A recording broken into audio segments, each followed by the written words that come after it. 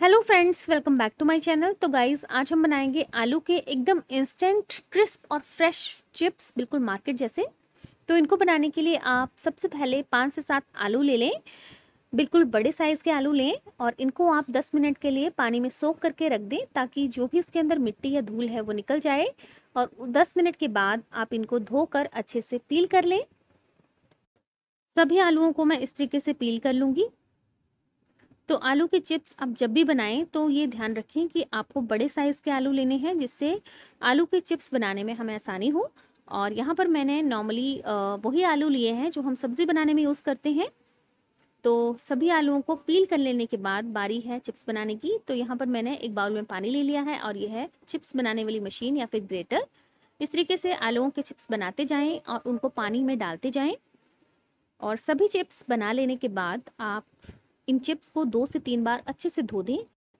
ऐसा करने से आलूओं के अंदर जो भी एक्स्ट्रा स्टार्च है वो निकल जाएगा और जो आलू के चिप्स हैं वो काफ़ी टाइम तक क्रिस्प बने रहेंगे और ये बनाने के बाद फ्राई करने के बाद सौगे नहीं होते हैं। तो मैंने इनको दो से तीन बार अच्छे से धो लेना है और उसके बाद जो भी इनके अंदर एक्स्ट्रा पानी है उसको मैं निकाल दूँगी।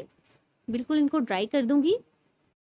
तो इस तरीके से आलूओं के चिप्स बनाने के बाद उनको आप दो से तीन बार ज़रूर धोएँ और उनको ड्राई कर दें एकदम से। और अब बारी है उस चिप की, जिससे हमारे चिप्स और भी क्रिस्पी बनेंगे।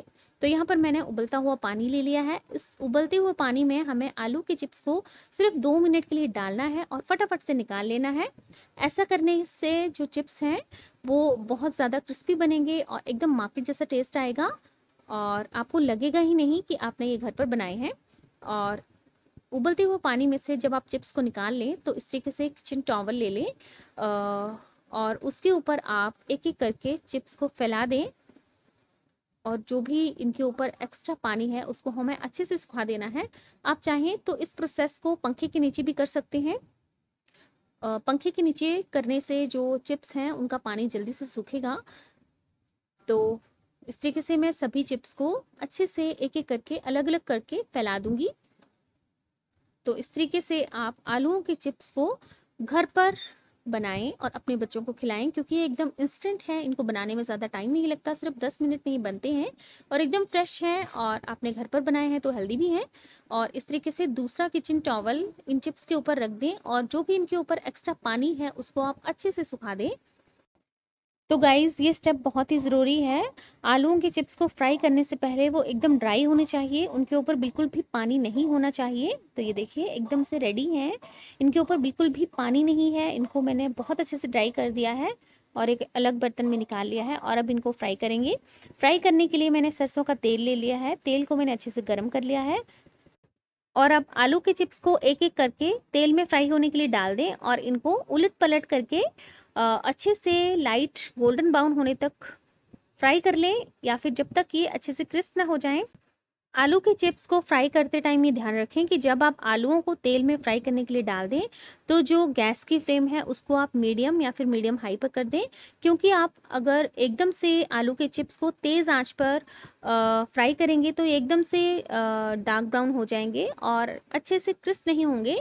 लेकिन अगर आप इनको मीडियम या फिर मीडियम हाई फ्लेम पर अच्छे से फ्राई करेंगे तो ये क्रिस्पी बनते हैं तो ये देखिए ये बिल्कुल हो चुके हैं क्रिस्पी हो चुके हैं। इनको मैं निकाल लूँगी। इसी तरीके से मैं सभी चिप्स को फ्राई कर लूँगी। बस एक बात का ध्यान रखें कि जब आप इनको फ्राई करने के लिए डालें तो जो फ्लेम है वो मीडियम हो या फिर मीडियम हाई हो बहुत तेज़ आँच पर आप इनको फ्राई ना करें। क्योंकि तेज़ आँच पर अगर आप फ्राई करेंगे तो जल्दी से कलर पकड़ लेते हैं और क्रिस्पी नहीं बनते। तो ये देखिए बिल्कुल रेडी हैं इनको मैं निकाल लूँगी। तो यहाँ पर एक टिप है जब भी आ, तेल के अंदर बबल्स आने बंद हो जाएँ तो इसका मतलब है कि हमारे चिप्स जो हैं बिल्कुल तैयार हैं, निकालने के लिए इनको मैं निकाल लूँगी। और अब बारी है चिप्स के अंदर मसाले डालने की तो मैंने चिप्स को इस बाउल में डाल दिया है।